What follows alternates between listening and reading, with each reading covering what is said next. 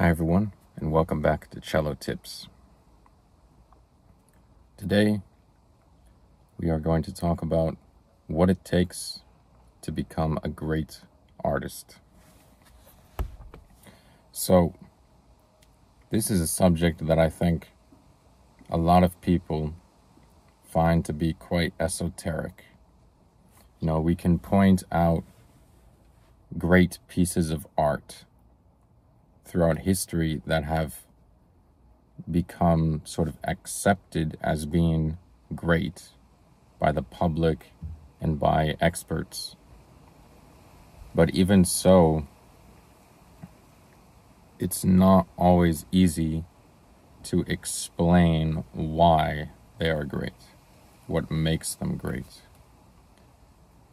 And so I think for a lot of young musicians and young artists who have dreams of being considered amongst the greats, dreams of having great artistry, performing as a great artist, it's hard to know where to begin. And of course, a lot of this has to do with talent, you know, and just your nature as an individual and how that nature transforms into your performance and then connects with the public. Of course, that's a big part of it.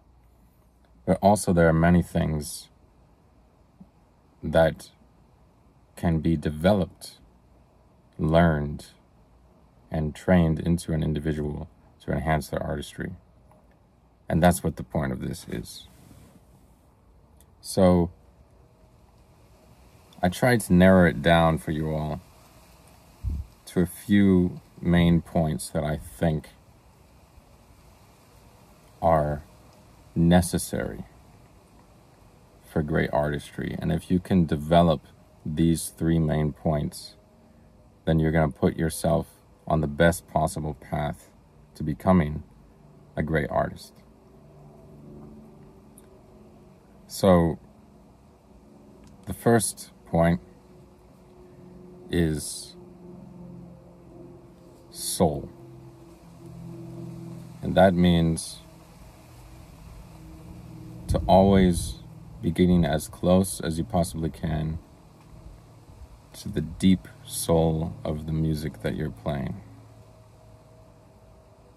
And that goes along with emotion, playing with a lot of feeling, but not just playing with, you know, whatever random emotions that you feel like that day, but rather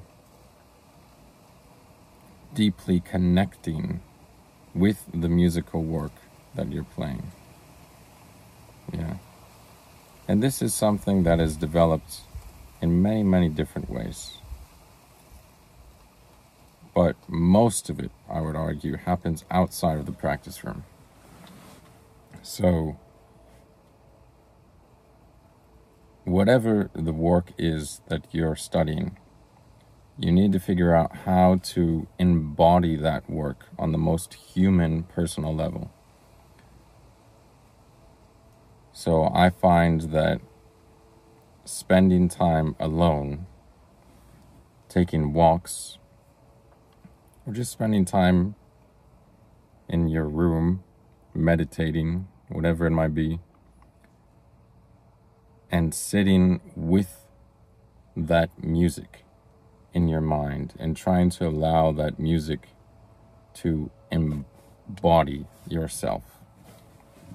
That's what's going to help the best. You know, when you're practicing a lot a piece with the instrument and drilling things going and over over and over things, a lot of the things you're going to be putting onto that music are inevitably going to be due to the technical challenges of the music. And technical challenges have almost nothing to do with soul. so we want to get the real meaning and the purpose of that music. So spend a time away from the instrument, a lot of time actually away from the instrument, and just try to be with that music and see what that music truly means to you, how it makes you feel, and what you want to say with it. So that's the first point. The second point unfortunately, is technique. So you have to master the technique, you have to master the craft.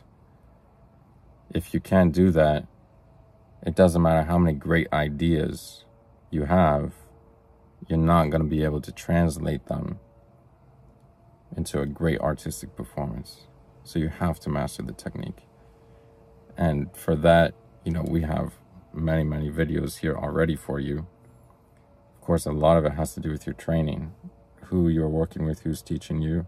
You need a great teacher, you know, and you need to learn as much as you can about the different facets of playing the cello.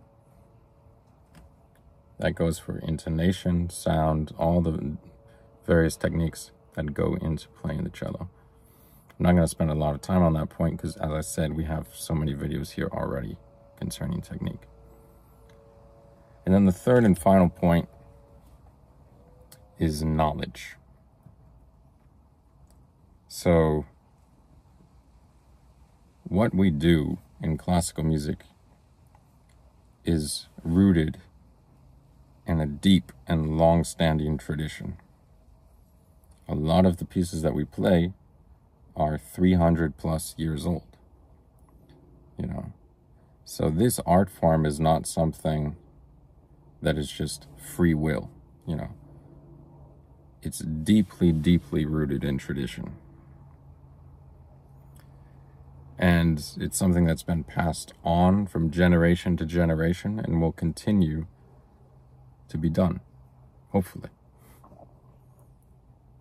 And so, in order to truly understand that art form and to play in a way that is with great artistry, you have to be knowledgeable about the whole tradition of classical music.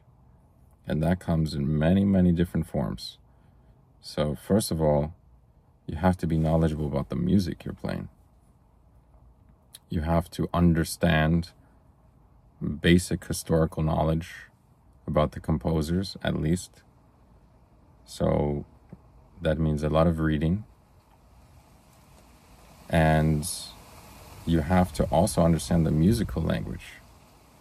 So that means a lot of listening, probably, to recordings,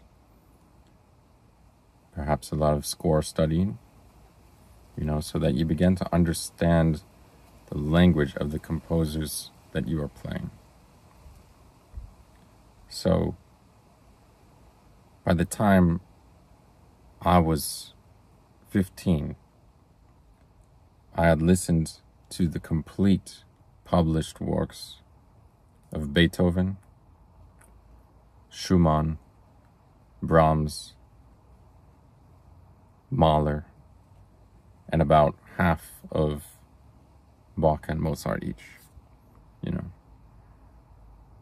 And that is what gave me the confidence to go into the literature now as an interpreter, feeling well versed and feeling like I am a valid performer of this music and at least I somewhat understand the language. I have some sense of what that what those composers' languages are like.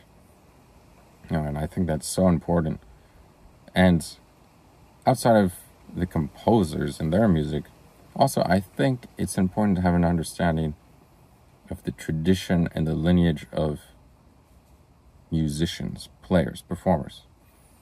You know, so as a cellist, that means understanding our heritage, where everything came from, understanding these great artists like Casals, Rostropovich, Shafran, Fournier, Starker, all these great artists, understanding what they brought to the art form and where we are today is because of what all of them did, largely. A lot of the great music that we play was written because of those performers. So, knowledge is is the final point. I think that you're not just jumping into something trying to create something out of absolute nothing. But you are an interpreter that is valid in bringing your voice and your understanding, your knowledge now to this music. So, I hope that hope I hope that helps all of you a little bit. At least as a starting point, you know, to try and improve your artistry. To try to continue on this path that we all are looking down to try and become the greatest artists and greatest musicians that we can become. So, hope you all have a great week, and I'll see you next time.